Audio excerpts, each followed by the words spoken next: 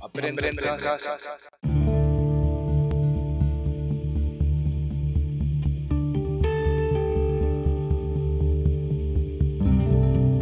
Hola a todos, bienvenidos a un nuevo vídeo de videolecciones de biología para segundo de bachillerato. Ya sabéis que en nuestro canal Aprendo en Casa, región de Murcia, hay vídeos tanto de biología como de otras materias que os pueden venir bien para preparar vuestros exámenes de acceso a la universidad. En el vídeo de hoy vamos a finalizar nuestra serie dedicada a los lípidos. En vídeos anteriores, que os recomiendo que veáis antes de ver este, vimos las características de los lípidos saponificables y dentro de los lípidos insaponificables vimos a dos de los tres grupos, los isoprenoides y los esteroides. Hoy vamos a dedicar este vídeo al tercer y último grupo y con él terminaríamos la serie de los lípidos. Se trata de los eicosanoides. Vamos allá.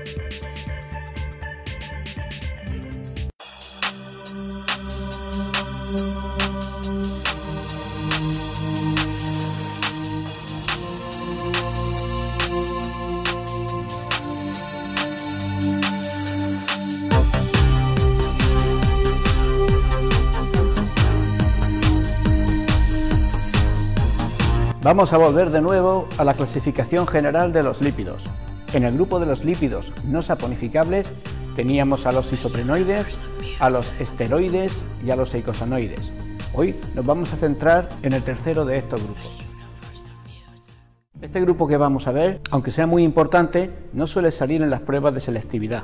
En cuanto a sus características generales, hay que decir que los eicosanoides, su nombre proviene de la raíz griega eicosa, que significa 20. Y esto se debe a que estas moléculas presentan 20 átomos de carbono en su composición. En realidad, los eicosanoides son derivados de ácidos grasos esenciales, que si recordáis eran aquellos ácidos grasos poliinsaturados de cadena larga que nuestro cuerpo no podía sintetizar, pero que sí eran importantes para nuestro metabolismo.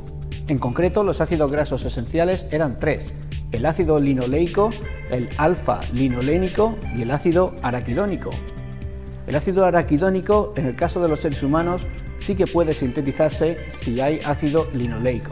Pues bien, estos tres ácidos grasos serán precursores de este grupo de moléculas, en concreto el ácido araquidónico. En un principio, los ácidos grasos esenciales se utilizan para ser esterificados con glicerina para formar fosfolípidos y otros lípidos de membrana. Sin embargo, cuando son necesarios, estos lípidos van a ser movilizados, es decir, se van a hidrolizar y van a liberar estos ácidos grasos que serán sometidos a una serie de reacciones químicas mediadas por enzimas que van a dar lugar a una de las muchas moléculas de icosanoides que hay. Por otra parte, hay que tener en cuenta que aunque sean derivados de un ácido graso, no se consideran lípidos saponificables, y esto es porque no van a participar en reacciones de saponificación, aunque en algunos libros de texto sí que los incluyen dentro de este grupo. Su función general en el organismo va a ser muy variada.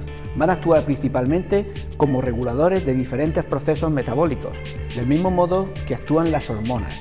Sin embargo, estos compuestos no son hormonas y se diferencian de estas en que las hormonas, por una parte, son fabricadas en unos órganos especializados llamados glándulas endocrinas.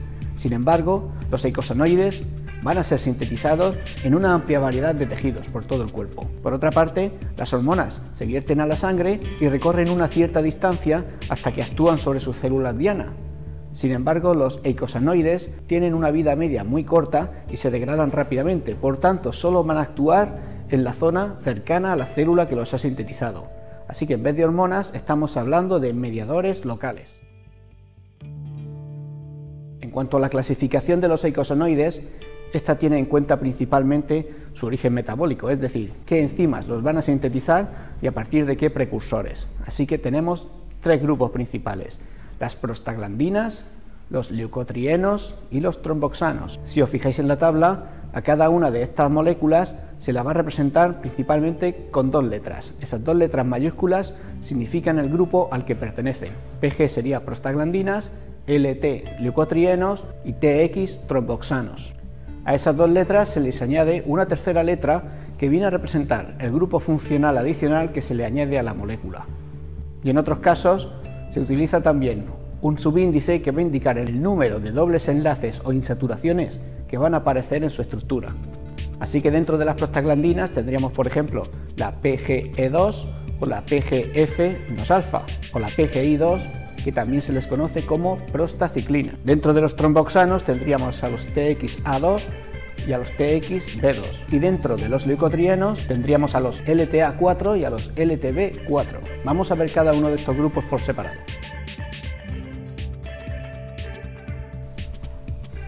Las prostaglandinas deben su nombre a que fueron aisladas principalmente en los años 30 a partir de líquidos prostáticos, aunque después se ha descubierto que pueden ser producidas por células de distintos tejidos del cuerpo humano. Se producen por mediación de la enzima prostaglandina endoperóxido sintasa, que actúa sobre el ácido araquidónico, que es ciclado.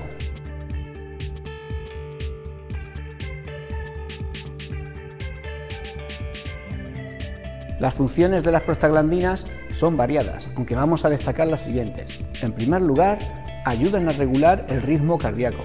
Por otra parte, disminuyen la presión sanguínea al favorecer la eliminación de sustancias por el riñón. Mediante la vasodilatación capilar favorecen los procesos de inflamación y provocan fiebre y dolor al estimular las terminaciones nerviosas del dolor. También se relacionan con la contracción de la musculatura lisa del útero durante el parto. Esto guarda relación con el hecho de que las prostaglandinas, como la PGE2 y la PGF2-alfa, se utilicen combinadas como un potente abortivo. También regulan la producción de mucus en las paredes internas del estómago y del intestino delgado, lo cual los protege de la acción de los ácidos. Llegados a este punto, hay que mencionar que muchos antiinflamatorios, como la aspirina o el ibuprofeno y otros corticoides, van a actuar inhibiendo la síntesis de las prostaglandinas a través de la inhibición de la enzima prostaglandina endoperóxido sintasa. Por tanto, sus efectos antiinflamatorios van a tener como contraprestación que no se va a producir tanto mucus para la protección gástrica y esto se va a relacionar con que un exceso de estos medicamentos puede llegar a producir úlceras o erosión de las paredes del intestino o del estómago. El siguiente grupo, los tromboxanos, se sintetizan en las plaquetas y ahí fue donde se aislaron por primera vez. Se caracterizan porque la molécula presenta un anillo de oxano, también llamado tetrapirano y se relacionan con la contracción de las arterias y la coagulación sanguínea, es decir, con el agrupamiento de las plaquetas para formar un trombo, de ahí su nombre. Esta agregación se inhibe con la síntesis de prostaciclinas. El último grupo sería el de los leucotrienos, que debe su nombre a que fueron aislados por primera vez en leucocitos, es decir, glóbulos blancos. Aparte de eso, presentan cuatro dobles enlaces, de los cuales tres están conjugados. Los leucotrienos proceden también del ácido araquidónico, pero esta vez la enzima que se va a encargar de modificarlo es una lipooxigenasa. Están relacionados con reacciones alérgicas en general, inflamatorias, el asma y son capaces de aumentar la permeabilidad capilar. Su síntesis puede inhibirse por la acción de algunos antihistamínicos. Y de momento, esto es todo por ahora. Si os ha gustado la videolección, no olvidéis darle a me gusta y no os perdéis el resto de vídeos de biología. Nos vemos en el siguiente vídeo. Hasta la próxima.